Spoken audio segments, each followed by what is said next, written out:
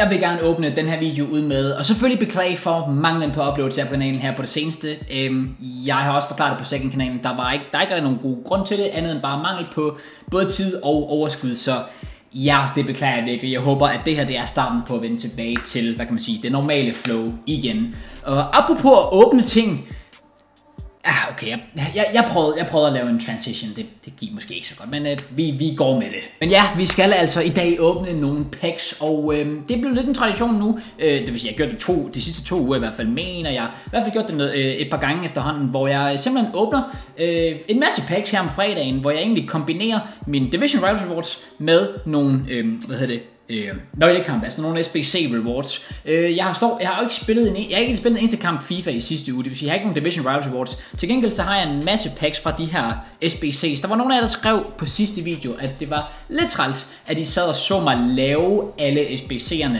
Øh, jeg skal ærligt indrømme, grund til at jeg gjorde det, det var simpelthen fordi, jeg synes, det er sjovt at vise, hvordan jeg gør, fordi det kan måske være nogen, der kan bruge det som noget hjælp derude. Men fint nok, jeg tager selvfølgelig kritikken til mig, sætter pris på det. Så det jeg har gjort, det er, jeg har faktisk teknisk set lavet alle dem her. Jeg har bare ikke sendt dem ind endnu. Øhm, så det kommer til at gå lidt hurtigt. I stedet for at jeg sidder og bare ser mig, der sidder og trykker alle spillerne ind, så ser jeg faktisk mig sende truppen ind i stedet for. Så ja, der er de her tre forskellige her. Det giver os at vi har en pack der, vi får fem, eller vi får tre for den her, vi får fem for den her. Det er ni packs i alt. Kunne have været lækkert lige at spice op med nogle Division Rivals, men det må for formentlig blive næste uge i stedet. Vi har den her først og fremmest Titanernes kamp, som var lidt besværlig. Det her med, at man maks måtte have sådan to spillere fra den samme liga. Men øh, det fik det til at fungere. Det ser altså sådan her ud, og vi sender altså det første hold ind her. Og hermed får vi, hvad får vi for den igen? Det må være en, hvad var det, en mega pakke med sjældne kort, tror jeg det er. Ja, okay.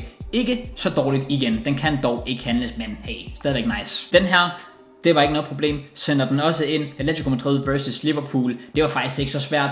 Øh, faktisk mange af dem her, de, de er også virkelig enkle. Det er også derfor, jeg egentlig godt kan forstå det her med, at det er ikke fordi, I behøver at sidde og se mig lave alle SBC'erne, fordi det er relativt enkelt her. Jeg kan ikke engang huske, hvad fanden jeg gjorde, så nemt var det, fordi det var ikke engang noget, der krævede rigtig noget brain power.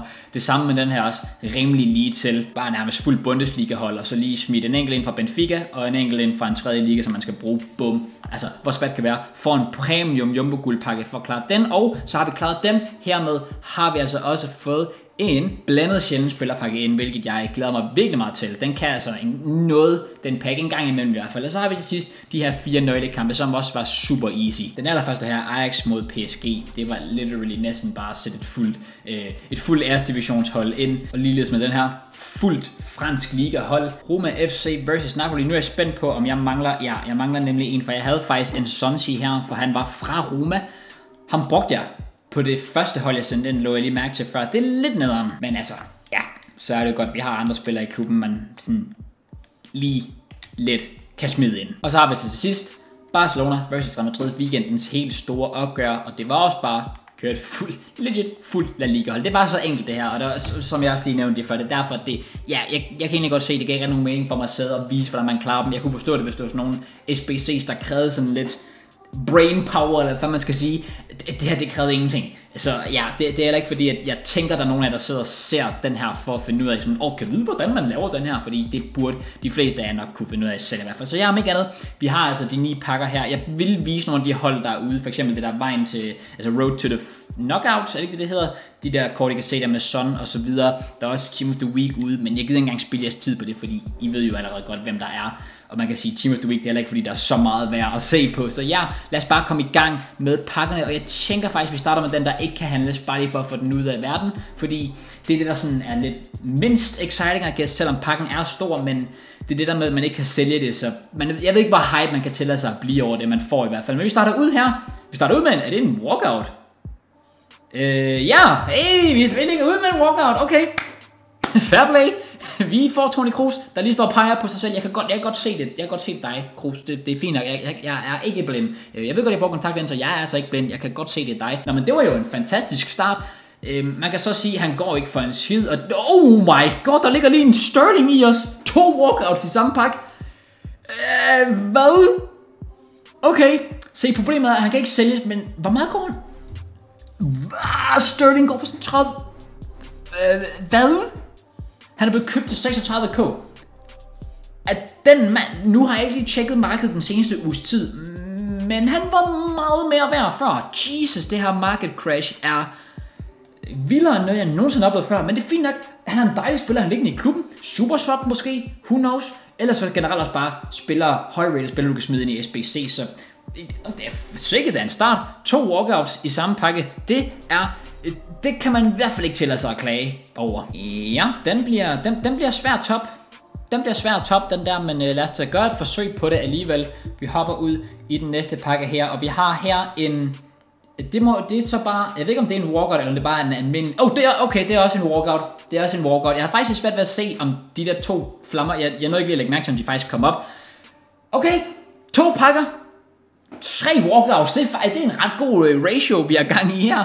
Okay man kan så sige, det er ikke den mest øh, spændende, det, det, det, det, er ikke den mest spændende walkout. Jeg vil skyde på, at han ikke går for, ja, han går for en lille smule. Ved du hvad? Vi tager det. Vi, vi, vi tager det. Øhm, ja, 86 rated, det, det er det lav. Er vi enige om, at det er kun 86 plus, der er walkouts?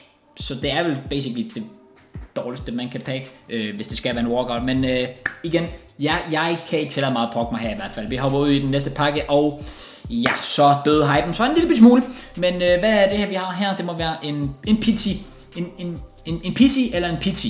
Eller en pizza. Åh, oh, jeg kunne godt få en pizza lige nu. Ja, der var ikke, der var ikke så meget råb for her. Åh, hvad skulle man åbne nu? Lad os prøve, lad os prøve den her lille stjernesvælderpakke i guld. Lad os uh, mix it up a little bit.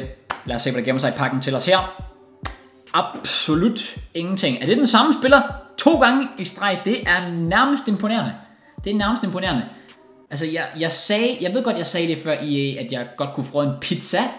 Det var som om, de hørte, jeg sagde pizza. Bare sådan, åh, oh, du kan godt få en pizza. Say no more. Vi giver dig en til. Det var ikke det, var ikke det jeg bedte om, men tak alligevel. Øh, sødt tænkt af jer, EA. Åh, oh, oh, nej. jeg, Der ligger en, der ligger en, hvad, hvad er det, du siger det? Lacro, lacro, eller sådan noget i den stil. Jeg skulle lige til at blive hype, så kom i tanke om, han går ikke for en skid længere. For jeg købte ham her den anden dag til min nye hold. Fucking 9, med. det for en halv måned siden, det vil at sige, fordi FIFA har været ude i sådan en måned. Ikke engang, FIFA ikke engang været ude i en måned. Og det vil nok at sige for en halv måned siden, som var der, hvor spillet kom ud, der gik ham her for latterligt meget, men, men ved du hvad, det er fint nok. Øhm, hvis nu bare vi lader, som om at den her video var uploadet for en halv måned siden, så kan vi sige, at det der var en god pack. Altså jeg vil gerne være alle om det, det, det, det har faktisk været decent. Det har faktisk været decent indtil videre. Så ja, øh, EA, det, det var ikke, nu tager EA det meget seriøst sikkert, ja nu, de hørte det der og tænkte, nå, det er godkendt, okay fint, så behøver vi give ham mere. Så de giver mig en, et, et, et sølvkort, som det bedste i den pakke der.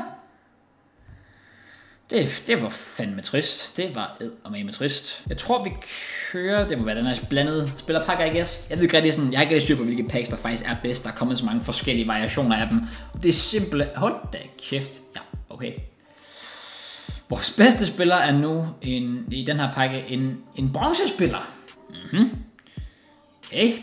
Det, det, det, var bare, det går bare hernede nu. Jeg tænker, vi tager, vi tager den her nu.